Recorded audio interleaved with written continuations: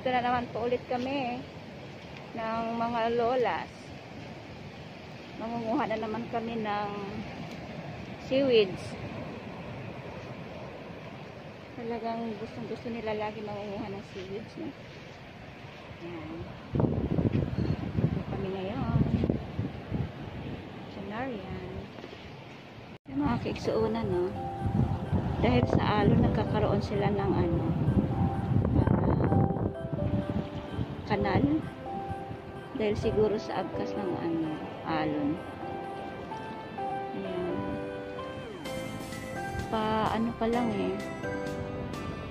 Pa, low tide pa lang.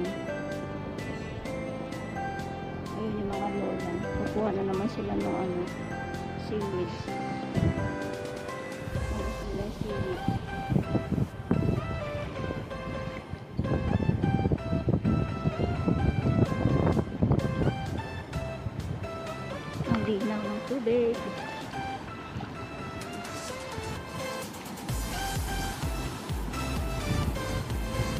Mamaya ma magiging mababaw na ito. Malalim pa.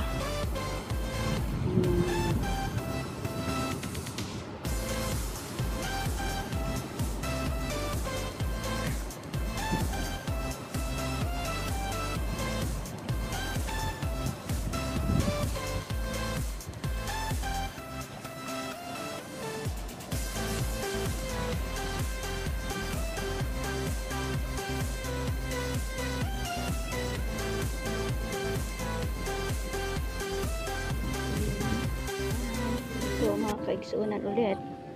Kukuha na naman kami ulit nitong seaweeds na lumot.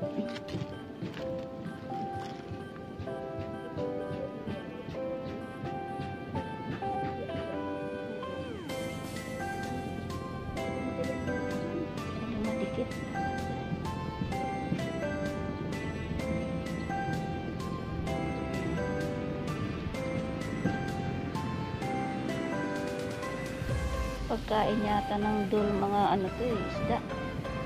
Naagawan na namin yung isda. Yung mga lola, paborito kasi nila to. pagkain ng isda, pwede rin sa tao.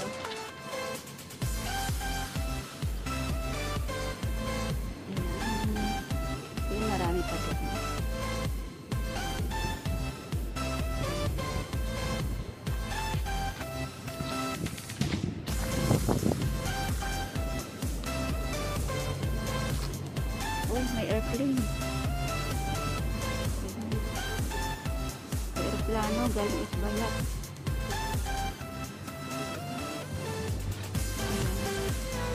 Galing po, Isbayat yan ng mga kaigsuunan.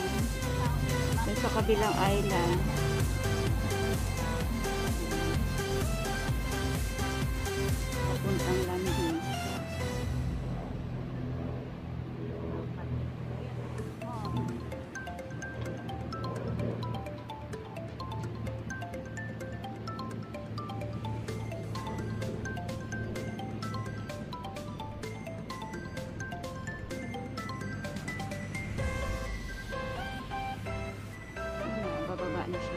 Maliit na airplane lang ng mga mga kaigsuunan. Yung pwede lang sumakay doon ay apat o anim.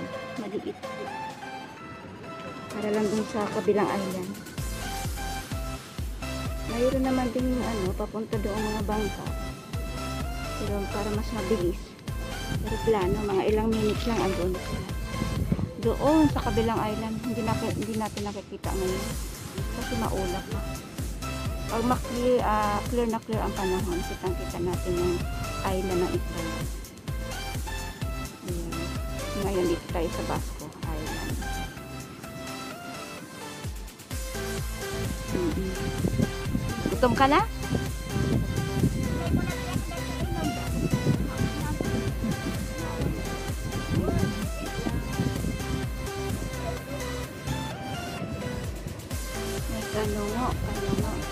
Ay, hello. Nakarami na kaya? Ay, ayun. Ito na na aro. Kisunan.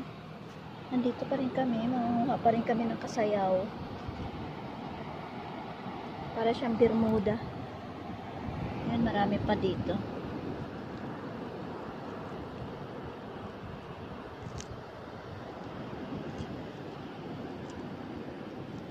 Masarap daw ito mga kaigsunan lagyan ng ano, lagyan ng kamatis, tsaka sibuyas. Sibuyas sa kamatis lang ito, ante? Kamatis sibuyas lang ito? Wala nang luya? Yan mo ng kunting luya. Ah, konti lang.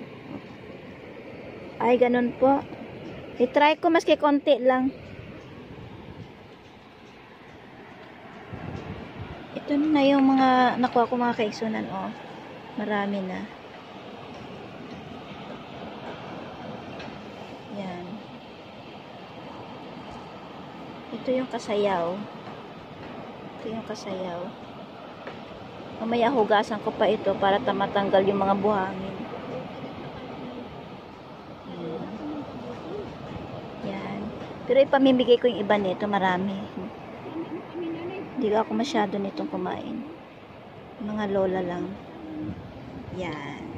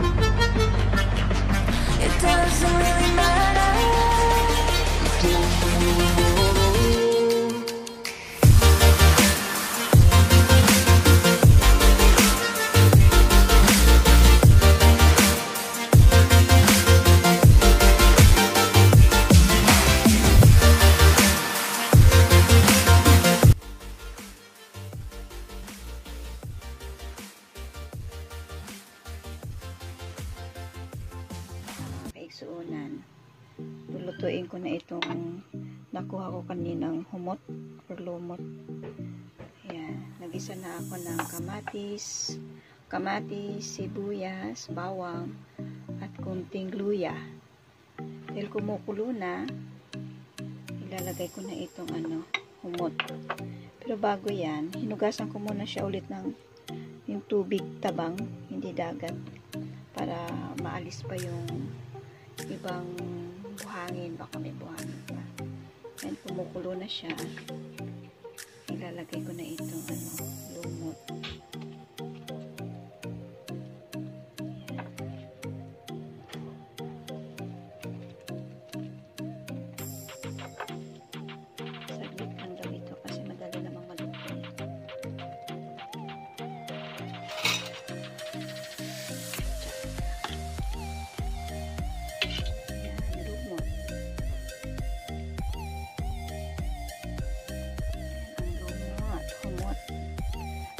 Sa dagat.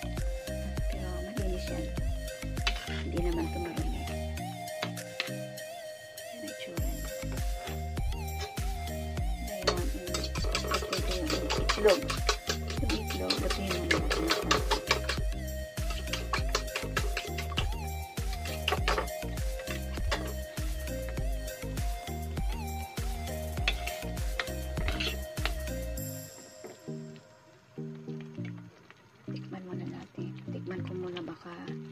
Matabang. Lagyan natin konting asin. Mm. Lasang dagat. Guys, lagyan natin ng konting asin para magkaroon lang ng konting alat. Ayan.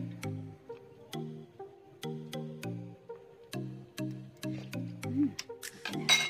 Lalagay ko na itlog.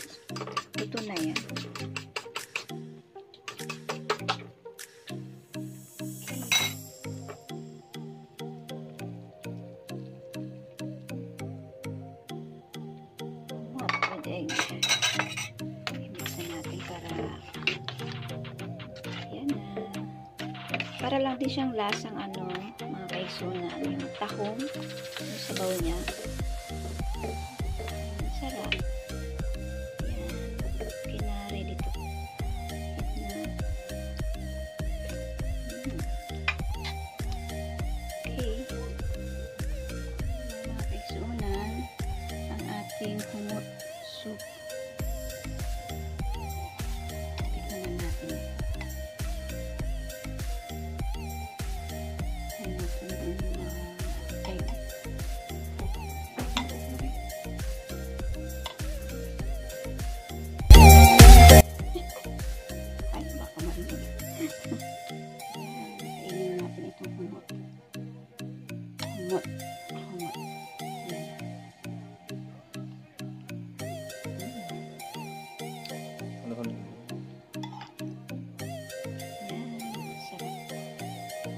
Dito sa amin to mga kaisunan, mahal pagdating sa mga turista.